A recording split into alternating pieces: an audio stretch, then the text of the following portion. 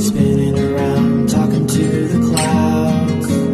I can't stop time, but if I could, I'd reverse it and go back to the day we met. That first kiss on the cheek.